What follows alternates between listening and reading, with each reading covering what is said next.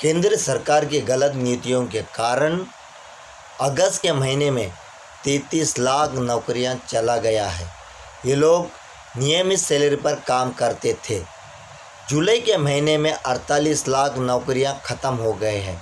ये लोग सैलरी पर काम कर रहे थे। जुलाई और अगस्त के महीने में इक्यासी लाख नौकरियाँ ख़त्म हो गया है।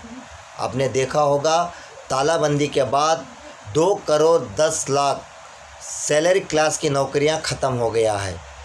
इसका मतलब ये हुआ, दो करोड़ दस लाख लोग बेरोज़गार हो गए। लॉकडाउन के दौरान कांग्रेस पार्टी और राहुल गांधी केंद्र सरकार को बार बार ये कहते रहे, न्याय योजना लागू कीजिए, गरीबों के अकाउंट में सीधा पैसा डालिए। लेकिन सरकार ने कुछ नहीं किया। छोटे उद्योग गरीब तबके के लोगों को उनके बिज़नेस के लिए एक पैकेज बनाइए। सरकार कुछ नहीं किया। देश में आज क्या हालत है? देश भूखमारी के कतार पर चल रहा है। नौकरियाँ ख़त्म हो गई है। बेरोज़गारी बढ़ते जा रही है। नौकरियाँ ख़त्म होने के बाद उनके घर चलाना मुश्किल हो गया है।